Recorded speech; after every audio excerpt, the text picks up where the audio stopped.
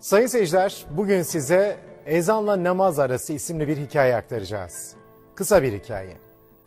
Torunu pamuk gibi bembeyaz sakallı nur yüzlü dedesine merakla sorar. Dedeciğim bir insanın ömrü ne kadar olur?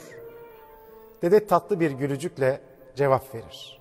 Ezanla namaz arası kadar yavrucuğum der. Torun nasıl yani ömür bu kadar kısa mı diye sorunca dede evet yavrum ömür namazsız ezanla ezansız namaz arası kadardır diye cevap verir. Torun yeniden sorar. Namazsız ezan ve ezansız namaz sözlerinden ne kastettiğini anlamadım dedeciğim. Bu ne demek açıklar mısın? Dede şefkatle ellerinden tuttuğu torununa bak yavrum der. Geçenlerde komşumuzun çocuğu doğmuştu. Çocuğun kulağına ezan okundu değil mi? İşte o ezanın namazı kılındı mı? Kılınmadı. O ezan namazsız ezandı.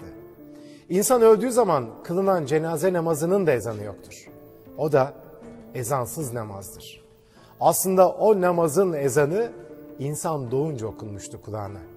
Bak ey insan, doğdun ama öleceksin. Ömür çabuk biter. Hayatını iyi değerlendir. Boşa vakit harcama ikazını yapıyordu o ezan.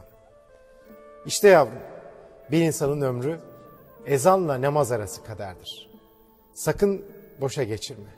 Ömrünü dolu dolu yaşa, bir nefes bile boşluk bırakma. Hoşçakalın.